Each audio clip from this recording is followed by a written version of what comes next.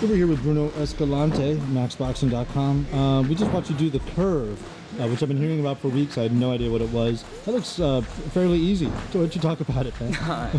no, it was it was pretty hard. You know, um, using the hypoxic training, um, like with the simulating high altitude, and you get 80% oxygen while you like kind of like um, sprinting on a hill. So it's really it's really hard work. You know, me, I, I got a great team. Mm-hmm. Brian and Mike Bazzel, we've been teaching me a few things. Uh, you know, learning every day, and um, I feel like I'm I'm back to uh, just learning boxing. You know, so so yeah. I'm learning, and we got uh, you know Victor Conte is helping me with the with the supplements, the, the working with Remy Korchemny too with the, the track coach right. sprinting. So it's really a uh, really good. Uh, you know, we're, we're ready for September 20th. So what's going to happen here is the machine, the hypoxicator over there in the corner is set at 3.5. The handy monitor just gave us a reading of 16.2%. When we go over here and look at 16.2% on the conversion chart, that's about a 7,000 foot elevation. Okay. Okay. So what he's going to be breathing is 16% oxygen. The ambient air that we're breathing right now at sea level is 20.9%, so about 21%. So we're removing the oxygen molecules and bringing it down to 16%. Times and the recovery is just it's getting better. I sparred 10 rounds yesterday. It was it was it feel like easy, you know, and it's it's good. To the speed, the whole purpose of the biggest thing on this is not to take too long to get to that mile per hour. Don't start slow and then get possible. Because you're gonna hold that for about 20 seconds. So I want him to get to it as fast as possible. I don't like him to hold the ends and then pick up the speed and jump on it. I want him to start from the pretty much from the ground.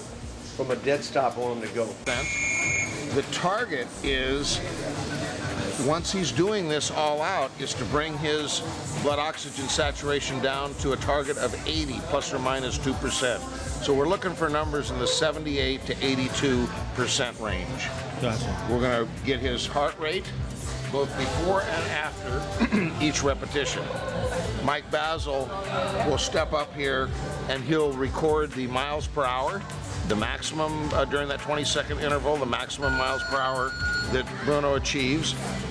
And uh, then he's going to take an oximeter between each repetition, put it on Bruno's finger, and then he's going to measure his heart rate and his blood oxygen saturation and notate it. So this will all, once we get started, happen very quickly, but it's, it's really about sprint interval training in hypoxia. That's what we're doing today. And this is a, a curve machine, which is a non-motorized uh, treadmill with a curve to it. It's kind of like running uphill a bit. But the idea is, is you're not limited and, and uh, like a treadmill to the number of miles per hour that that can go. As fast as you can run is as fast as this will go.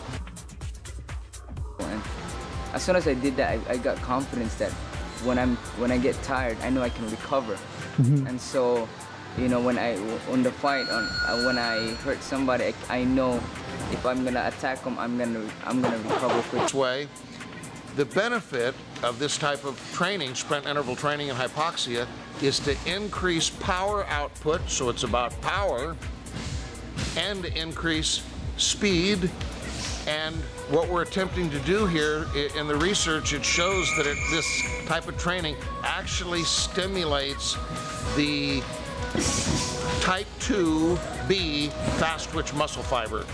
More is developed. They've actually done biopsies and seen that you can develop more fast twitch muscle. Have to be, the goal doesn't have to be he's going to 15,000 feet.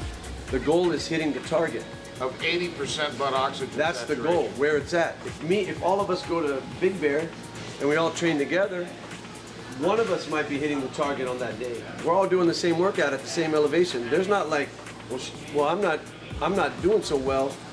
I got to go down at 2,000 feet. There's none of that. You got your. And this way, like say, as opposed to somebody putting, you know, HGH into your body, your body is reacting to what it's naturally is happening to it, as opposed to kind of topping it off with other things. That's exactly right. It's what they call a feedback loop. So you give this signal, and then the adaptive mechanism of, uh, uh, mechanisms of the body kick in, and that's what causes this is a stronger signal, a greater metabolic disturbance, as they call it. Uh, then you've obviously got to do everything you can through nutrition uh, to enhance the recovery and tissue repair, and of course, then you become uh, stronger and faster. Everything. I think it, it builds a lot of confidence, you know, because when you uh, when you have that 80% oxygen, you know, you you're you're you get tired, you get tired, and and it's, I feel like it's harder than sparring actually. Your body a little bit. So bit. this is very, very strenuous training. And what's the basic idea? And the reason for the 20 second interval of exertion is we're looking at that conversion from the ATP system to the glycolytic system where you start burning glycogen as fuel.